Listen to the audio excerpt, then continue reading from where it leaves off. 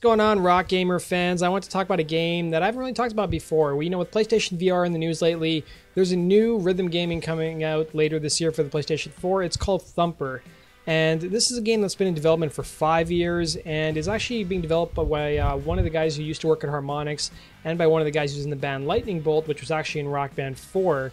And it's kind of a hard game to explain, but from what I've read online, it's basically described as a rhythm hell game. It's kind of like Audiosurf, but it's much more extreme. You basically change lanes to avoid obstacles and you slide around tight corners.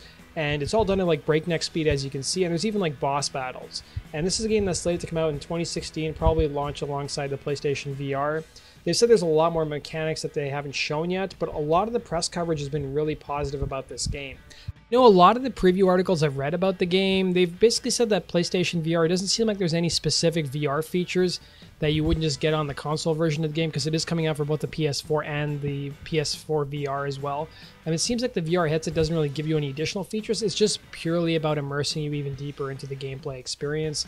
And you know, the game runs at 90 frames per second. It's just visually very stunning and beautiful. It will be playable at PAX East, which is coming up here pretty shortly, and it was playable at GDC, but I think the public will be able to play for the first time at PAX East. And that's all the information we know about the game. As more information comes out, I'm going to be covering it on my channel. So I want to know from you guys, what do you make of this new game? Comment below and let me know. And as always, guys, make sure you subscribe to my channel for the latest rhythm gaming news. Take care.